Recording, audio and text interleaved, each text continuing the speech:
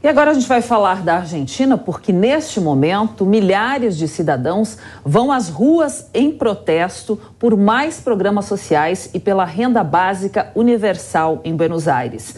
A concentração começou por volta das 10 horas da manhã, em frente ao Ministério do Trabalho. Dali, os manifestantes se moveram até a famosa Praça de Maio, no centro da capital. Algumas das reivindicações populares são a criação de empregos formais, um auxílio emergencial de 20 mil pesos por beneficiado, a universalização dos programas sociais e salário mínimo de ao menos 100 mil pesos, o equivalente a cerca de 4 mil reais. A Argentina vive uma crise econômica cada vez mais grave e o governo de Alberto Fernandes tem dificuldades em conter a desvalorização do peso e a escalada dos combustíveis.